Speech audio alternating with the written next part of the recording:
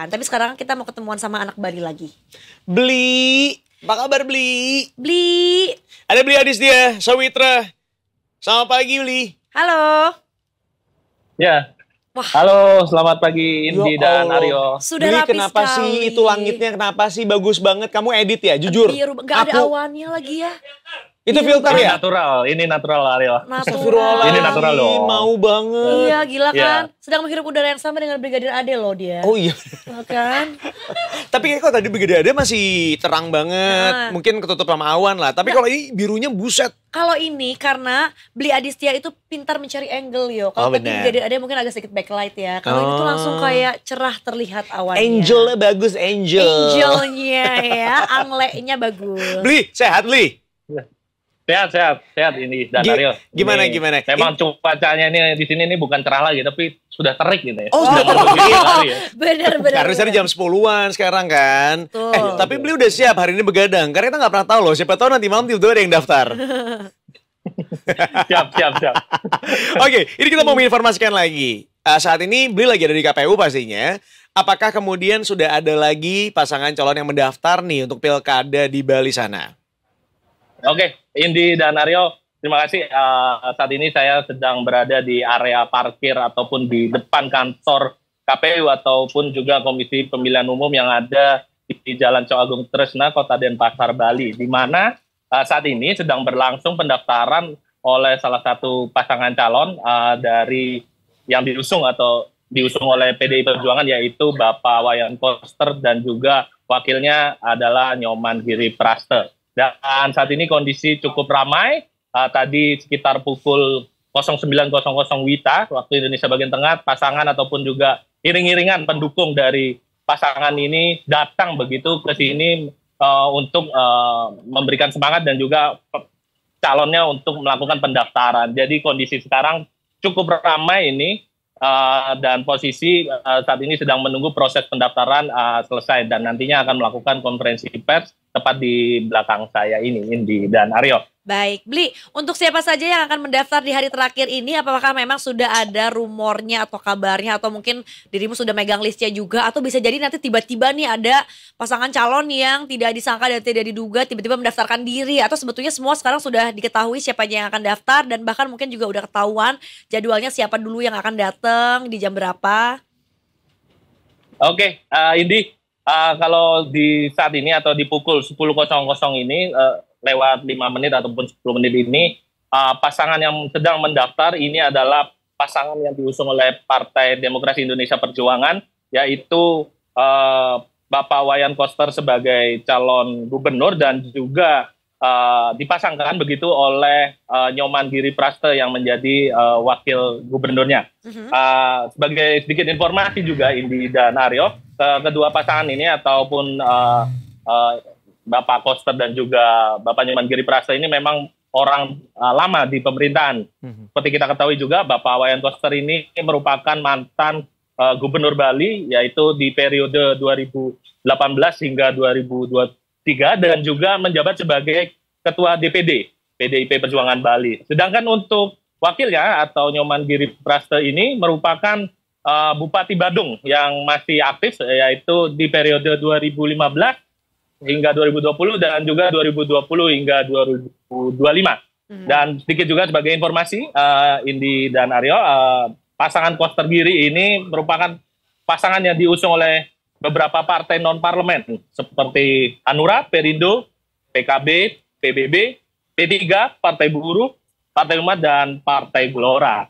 Dan untuk jadi untuk pasangan ini tadi mulai mendaftar pertama kali yaitu pukul 09, 09 le- pas uh, waktu Indonesia bagian tengah mereka datang begitu mendaftar dan nantinya di siang hari di pukul 12.00 yaitu pasangan kedua yang diusung oleh uh, koalisi Indonesia Maju Kim Plus uh, yaitu beberapa partainya ya adalah uh, Gerindra uh, kemudian juga uh, Demokrat, Partai Golkar, Nasdem, PSI dan pasangannya untuk pasangan uh, kedua nanti pukul jam 12.00 ini yaitu uh, Degajah atau Made Mulyawan Arya sebagai calon gubernurnya dan dipasangkan dengan PAS atau Putu Agus Suratnyana.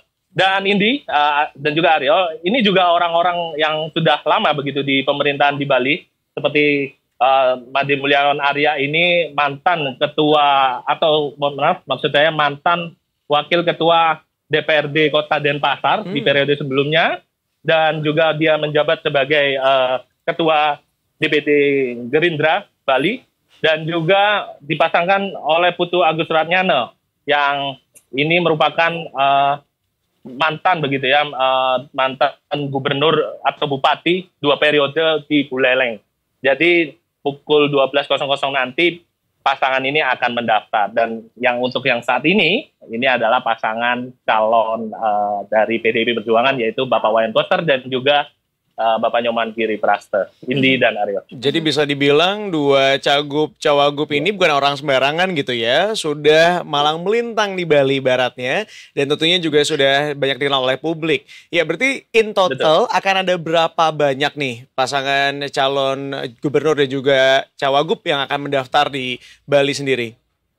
Untuk sementara ini dari data yang didapat dari pendaftaran yang sudah masuk di KPU memang uh, dua dua pasangan begitu, dua paket pasangan yaitu Bapak Wayan Koster dan Nyoman Giri Prate dari yang diusung oleh PDIP Perjuangan dan kemudian ada Made Mulyawan Arya atau lebih dikenal T Gajah dari dan dipasangkan oleh PAS atau Putu Agus Ranyane yang uh, diusung oleh Kim Plus gitu. Jadi okay.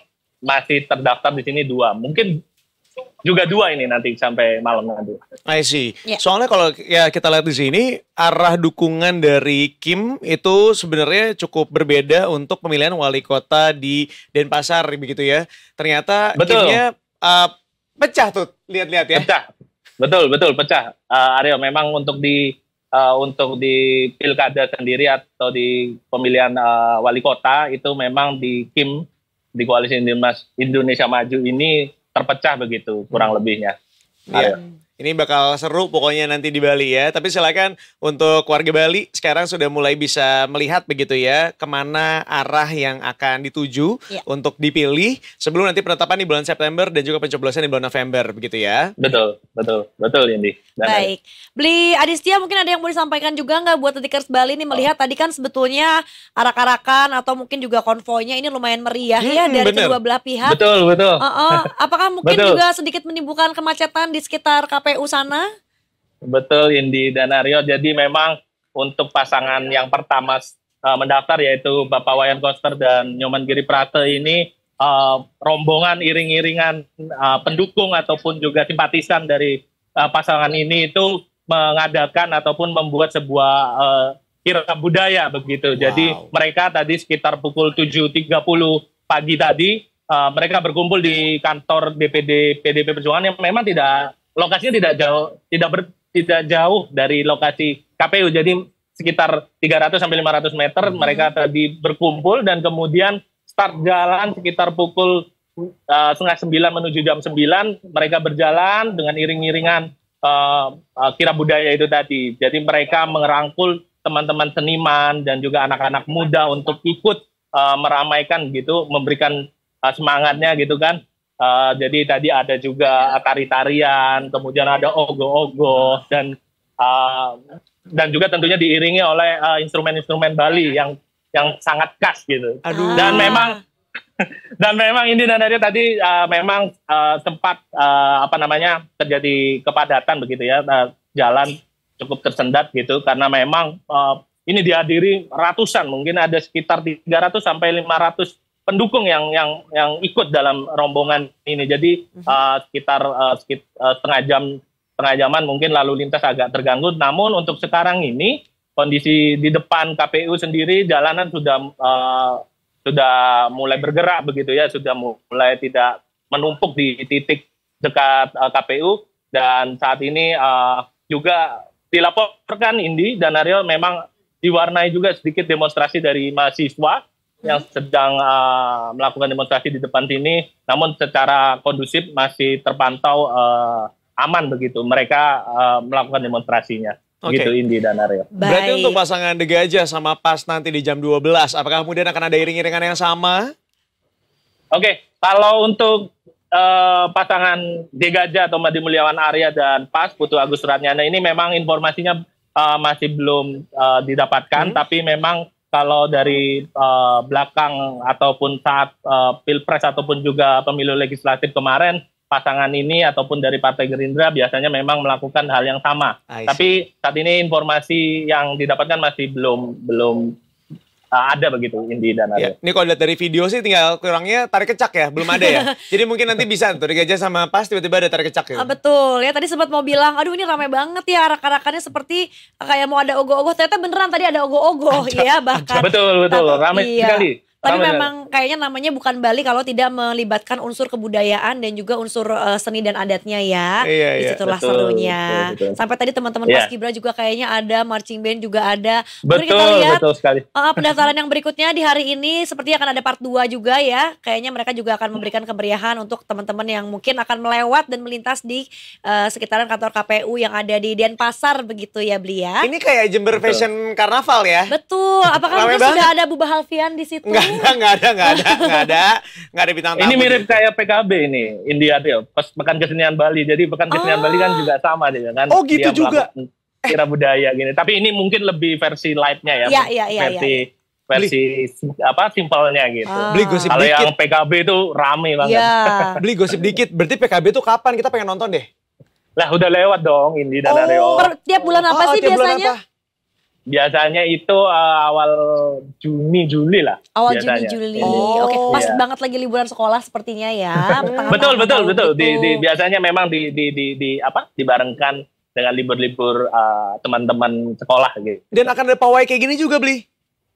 Lebih ramai lagi pastinya. ini. Oh. Oke, siap. Berarti nanti antara Juni Juli kita main ke sana ya, Beli ya. Betul, dan sepertinya juga lebih panjang arak-arakannya nggak cuma 500 meter kayak gini Bener, kan ya, bener. sampai Betul, berkilometer. Ya Allah seru banget. Oke oke nanti kita ke sana jalan-jalan ya. Beli, terima Iya. kasih banyak untuk laporannya Beli. Betul. Ya, terima kasih Indi dan ada ada info laporan Seza melukat nggak? Itu kan lagi di Bali juga ya. Penyanyi R&B kita ya di saat orang-orang party udah sama Thailand di Jakarta. lalu kayaknya. Enggak, beli baru kemarin beli. Jadi kemarin itu trendingnya ya? teman-teman di Jakarta party bersama Thailand ya live di Lalala Festival. Nah di Bali Siap. ada yang ketemu sama Seza gitu melukat. Oh, tapi mungkin kayak ini karena traveling sendiri jadi nggak terlalu Iya, banyak sorotan kali ya. Betul, dan juga ada Lizo juga nyusul ternyata. Oh, jadi geng-gengan itu di Oh, sana. di sana juga ya terima kasih beli dan dengar-dengar kan di Ya. capture sama uh, netizen dia nyewa motor naik motor pas dicek platnya pajaknya mati Tapi kan baik lagi bukan salah mereka ya, itu salah karena memang kan minjem soalnya. Jadi mereka juga nggak tahu, mereka juga nggak tahu gimana cara ngeceknya. Iya iya iya, mohon izin beli maaf ya teman saya emang dia lebih ke banyak ke acara gosip ya. Mungkin habis ini akan dipindahin ke insert denger-denger ya. Siap, Aryo. makasih ya beli ya Beli terima kasih. Siap, terima kasih Mudah-mudahan Aryo. gak ada Dan jalan mendaftar lagi, jadi Betul. bisa istirahat nanti malam. Betul. Bye bye.